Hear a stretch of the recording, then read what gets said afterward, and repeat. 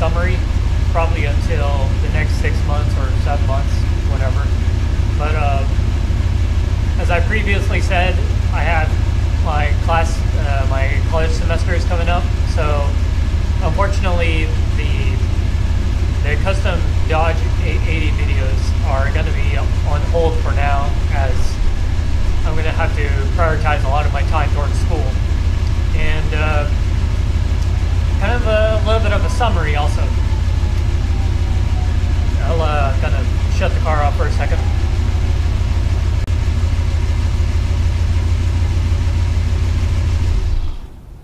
So uh, the summary with the timing chain install, it definitely helped. Uh, I feel the acceleration a lot more, and everything just feels smoother and tighter. Also, like um, honestly, the hesitation is almost gone, but I think it can equate to a lot of things like the probably the distributor bushings are probably going out. You know, there's a lot more things to look at, but the hesitation is much, much less, almost gone, and it doesn't do it as often as it used to.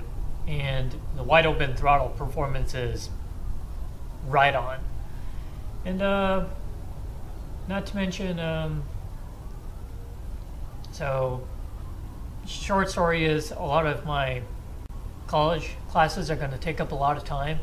So the Dodge 80 videos are going to be on hiatus at the moment.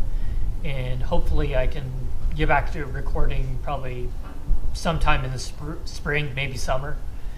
And uh, uh, let's see, Christmas is coming up also, and I don't think I can upload an, any other video sooner or later.